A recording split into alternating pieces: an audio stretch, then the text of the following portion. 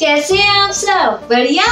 Okay तो आज हम बात करेंगे अल्पाका की। अल्पाका भेड़ की नस्ल का पशु है, जो ज़्यादातर साउथ अमेरिका में दिखता है।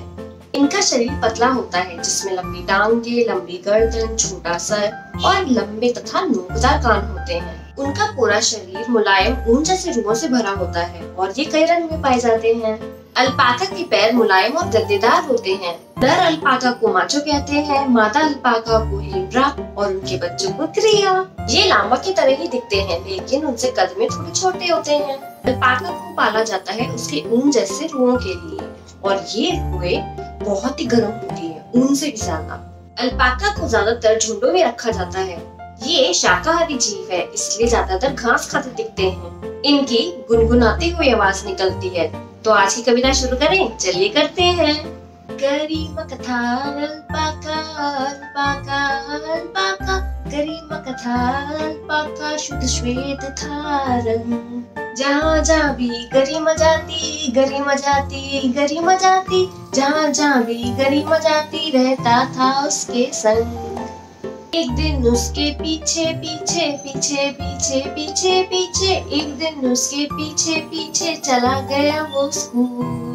बच्चों को तो मज़ा आ गया, मज़ा आ गया, मज़ा आ गया। बच्चों को तो मज़ा आ गया उसे देख कर टीचर ने उसको बाहर निकाला बाहर निकाला बाहर निकाला। टीचर ने उसको बाहर निकाला, पर वो वहीं अड़ा। गरिमा की वो बाट जोते बाट जोते बाट जोते। गरिमा की वो बाट जोते, बाहर खड़ा रहा। गरिमा उसको क्यों रखती है? क्यों रखती है? क्यों रखती है? गरिमा उसको क्यों रखती है? बच्चों ने ये पूछा। क्योंकि उसे प्यार करती है प्यार करती है प्यार करती है। क्योंकि उसे प्यार करती है टीचर ने ये बोला। चलिए दोबारा गाते हैं। करीमा kata alpaka, alpaka, alpaka गरिमा कथा अल्पाका शुद्ध श्वेत था रंग जहाँ जहाँ भी गरी मजाती गरी मजाती गरी मजाती, जहाँ जहाँ भी गरी मजाती रहता था उसके संग।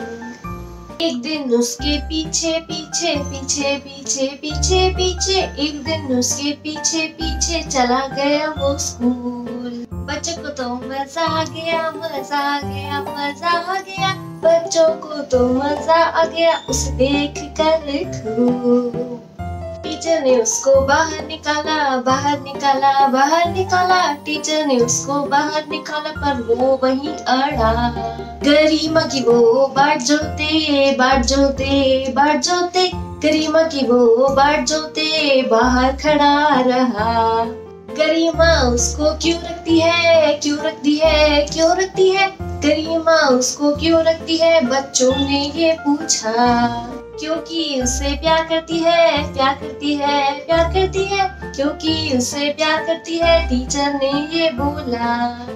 आज की कविता बढ़िया थी ना? तो अब जल्दी से इसे लाइक दे दीजिए, सब्सक्राइब कीजिए और हाँ अपने फ्रेंड्स और फैमिली के साथ ज़रूर शेयर कीजिए। Okay bye